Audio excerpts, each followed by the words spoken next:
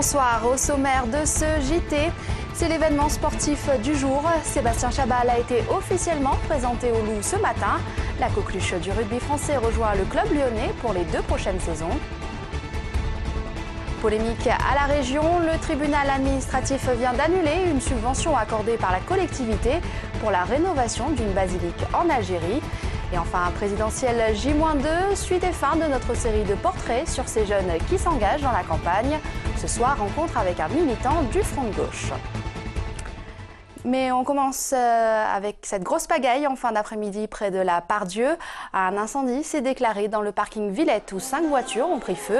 On écoute l'officier responsable des opérations de secours. Il n'a déploré aucune victime, que ce soit euh, brûlée par l'incendie ou intoxiquée par les fumées.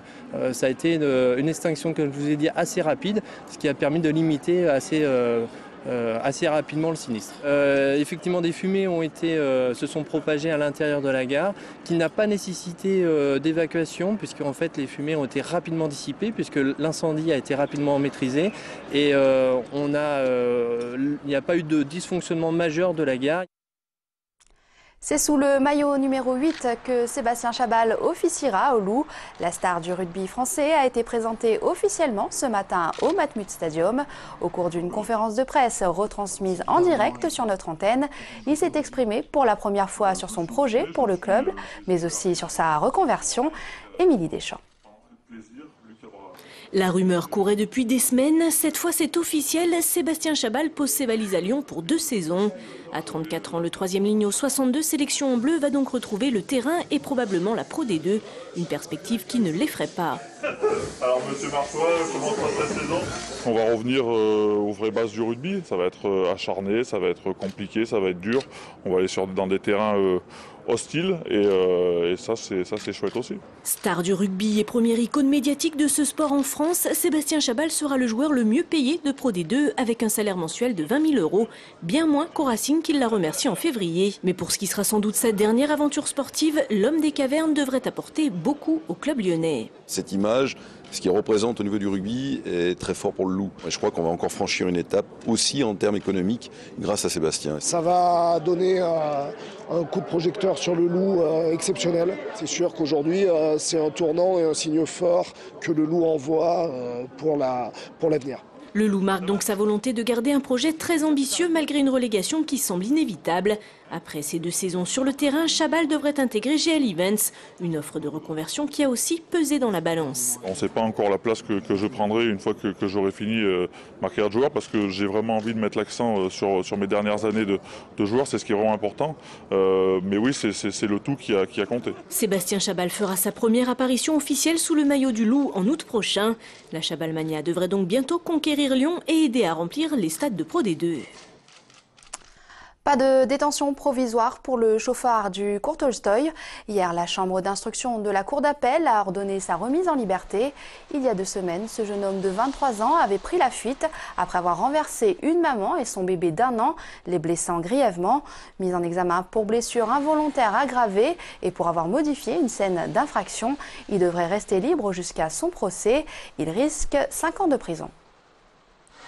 Initialement, il a été placé en détention provisoire au seul motif du trouble à l'ordre public que ça avait occasionné, qui est un motif qui ne peut plus, en l'état de la loi actuelle, être retenu et qui finalement ne pouvait plus justifier aujourd'hui euh, son placement en détention provisoire. J'ai donc relevé appel de cette décision.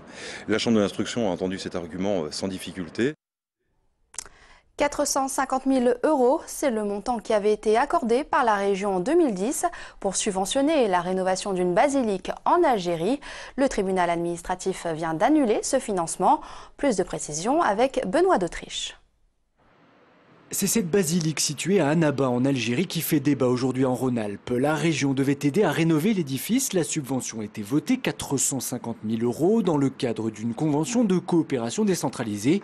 Sauf que le tribunal vient d'annuler cette convention. Le motif, le diocèse algérien l'avait signé, c'est interdit. À la région, on ne comprend pas. C'est un bâtiment qui appartient maintenant au patrimoine de l'Algérie. Donc ce n'est pas une opération de euh, la région Rhône-Alpes avec une institution religieuse. Ça pose, je pense, un véritable problème de fond. À l'origine du recours devant le tribunal, des associations lyonnaises qui dénonçaient principalement une remise en cause de la séparation de l'Église et de l'État. Alors même si dans son jugement, le tribunal n'a pas retenu l'atteinte à la laïcité, pour les plaignants, l'essentiel, c'est l'annulation de la subvention. Il pourrait s'agir de patrimoine s'il s'agissait d'un site archéologique, par exemple.